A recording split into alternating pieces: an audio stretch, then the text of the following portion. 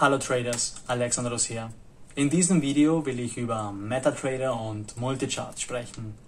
Da ich im letzten Video beide erwähnt habe und auch oft über diese gefragt werde, da ich beide benutzt habe, würde es gut für die Übersicht sein für uns, die zwei Programme zu analysieren und natürlich danach auch Gründe zu finden, wieso man welche von den beiden aussucht zum Traden.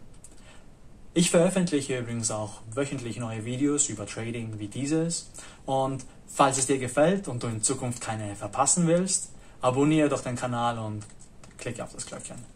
Also, beginnen wir mit der Software, mit der fast jeder startet. Ich inklusive. MetaTrader. MetaTrader ist eine Trading-Plattform, die uns von unserem Broker bereitgestellt wird, ohne dass wir sie bezahlen. Sie ist umsonst. Die Plattform wird auch konstant verbessert und hat sich im Laufe der Zeit auch als stabil erwiesen. Da MetaTrader enorm verbreitet ist, gibt es auch viele aktive Communities für MetaTrader.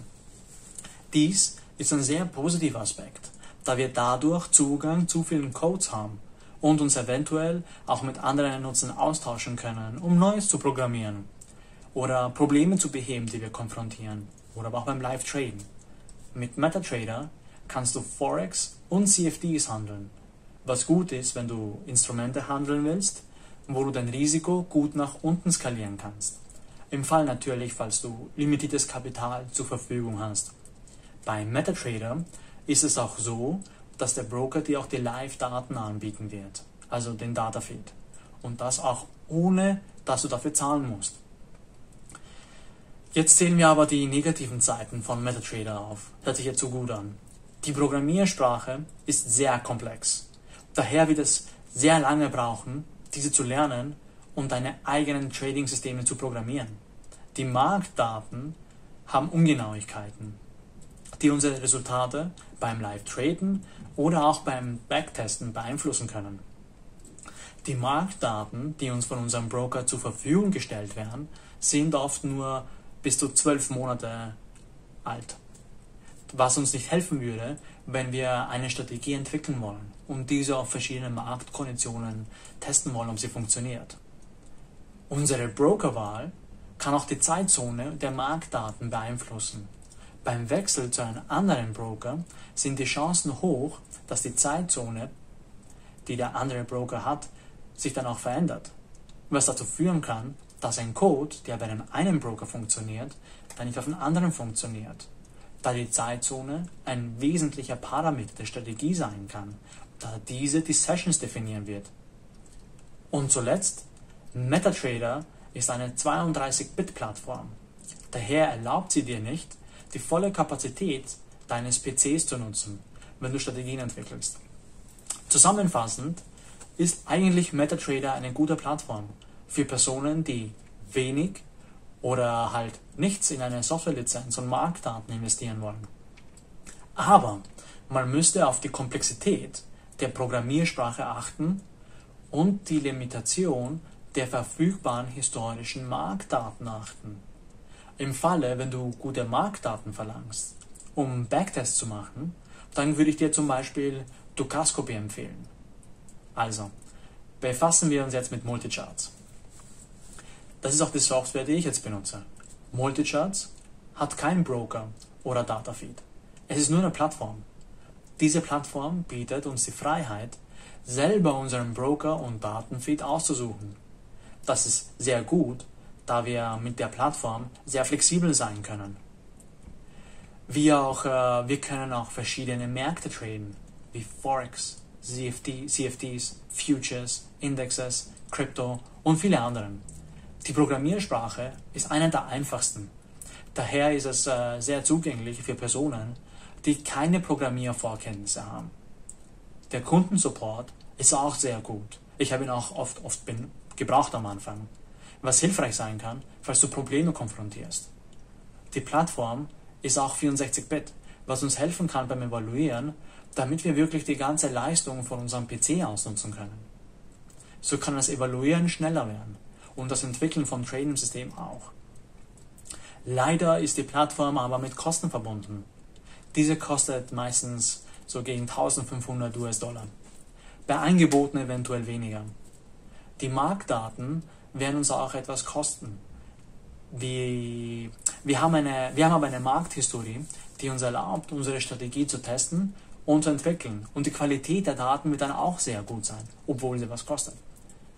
Also ist Multicharts eigentlich eine Plattform, die sehr stabil ist, einfach zu programmieren und bietet uns eine große Flexibilität, was wir mit der machen können. Dieses aber alles nach einer Eintrittsbarriere zu genießen. Die Plattformlizenz kostet ja was. Die Frage ist jetzt, welche Plattform, welche Plattform sollte man benutzen? Für mich ist es wirklich einfach. Ich habe mich gefragt, was ich in Zukunft traden will. Wie, skalier ist es, wie skalierbar ist es, mit dieser Plattform diese Sachen zu traden und wie einfach ist es, diese zu benutzen. Deshalb ist es sehr einfach für mich gewesen, nach Recherchieren, nach Gesprächen, mich einfach für Multicharts zu entscheiden. Wie gesagt, die Programmiersprache, der Customer Support, was wir oft benutzen werden, wenn man tradet. Die enorme Anzahl der Märkte. Ich kann äh, auch die gleichen Märkte wie bei MetaTrader dort traden, damit ich, also die gleichen, Märkte, die gleichen Märkte, die MetaTrader anbietet, auf Multicharts traden. Und dann, wenn ich genug kapitalisiert bin und meine Fähigkeiten als Programmierer verbessert habe, dann bin ich in der Lage, diese zu traden, die auch teurer sind und mehr Potenzial haben. Es ist also von keinem Nutzen, etwas zu lernen, die Programmiersprache, die MetaTrader benutzt, und dann diese nicht mehr benutzen, wenn wir weiterkommen als Trader. Ich kann mich also direkt auf das konzentrieren, was ich auch später in meinem Werdegang als Trader brauche. Und mich von Anfang an, falls es natürlich möglich ist, mich auf das zu konzentrieren. In meinem Fall ist es äh, zum Beispiel so gewesen, dass ich äh, gut genug programmieren lernen wollte, damit ich viel testen kann. Trading geht ja, Trading ist ja nur testen, testen, testen. Das kann plattformabhängig sein, da verschiedene Plattformen auch verschiedene Programmiersprachen benutzen und eventuell nicht auch die gleiche Kapazität haben, unsere Skripte gut zu testen. Nicht jede Plattform kann, kann, kann effizient genug Skripte testen. Dann ist eine Motivation auch gewesen, eine Plattform zu haben, wo man sehr viele, wo man Zugang zu sehr vielen Märkten hat.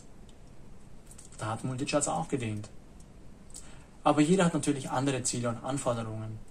Wenn du zum Beispiel ein guter Programmierer bist, dann kann es sein, dass du dich für eine ganz andere Plattform entscheidest. Es gibt ja sehr viele. Die Frage ist aber, was sind deine Anforderungen und was sind deine Fähigkeiten? Anhand diesen habe ich meine Entscheidung getroffen. Und hoffe, dass du es auch machen kannst. Ich bin neugierig auch zu hören, mit was du tradest, also welche Plattform benutzt du. Was sind deine Gründe gewesen, diese Plattform auszusuchen? Und wieso würdest du auch diese empfehlen oder würdest du die wechseln? Also, danke für das Zuhören, bis zum nächsten Mal und auf Wiedersehen.